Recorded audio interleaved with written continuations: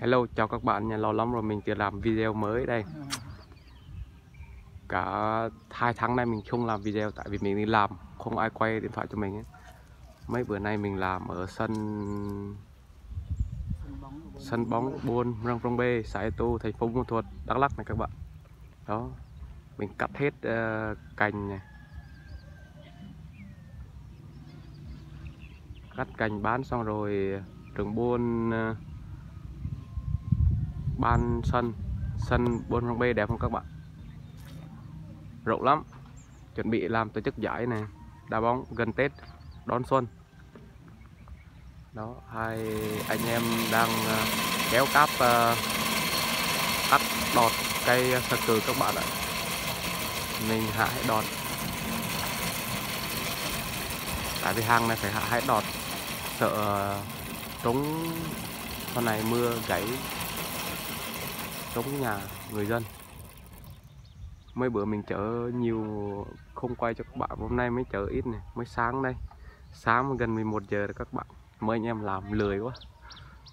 Mình làm lười.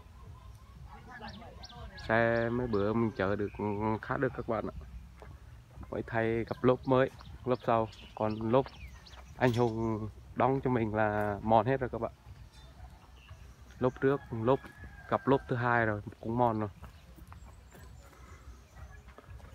mình làm video chẳng hay các bạn. Mấy bữa chạy ờ, 6 tháng nay từ hồi mình đóng á ở đóng tháng 5 tới giờ tháng ờ, tháng 1 rồi. Là mình đóng là xe này chỉ có trục trặc là thay bạc đạn hộp lai thôi. Mình thay các bạn, tại vì nó, mình không thích rung với lại nó hơi kêu á, nên là mình thay, giờ chạy êm rồi sáng đi chiều về sáng đi chiều về. Mình chạy từ uh, phố trên phố km 12 tới uh, khu công nghiệp Hòa Phú là cả đi cả về là hết uh, đường xấu đường đẹp có hết. Cả đi cả về là um, tầm 70 cây các bạn ạ. Chở nặng là chở nặng là mình chở từ uh, phố về khu công nghiệp là 30 km. Mà từ khu công nghiệp chạy lên đây chạy về nhà 40 cây nữa cho 70 cây anh khí này. Này vũ khí vũ khí Anna.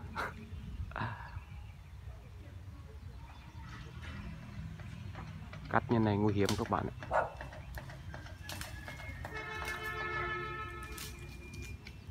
Làm tiền khó quá. Đóng xe này hết 165 thời tháng 4 đất lên, xăng lên, giá lên, cái gì cũng lên giờ ờ, đóng rẻ hơn các bạn ạ. Giờ mà đóng còn cỡ trăm tư, trăm rưỡi, tầm này cỡ trăm tư, trăm rưỡi thôi các bạn nha cái này xe mình là đều đầy đủ, không thiếu cái gì, chỉ thiếu lốp đôi thôi. Giờ mà miếu bỏ lốp đôi mua cặp mâm mà cần cỡ tầm 10 triệu ạ. Lốp nữa. Thôi chào các bạn nha video mình làm ngắn thôi chút cảnh sân bóng như này thôi cũng chẳng có cái gì hay. Ho.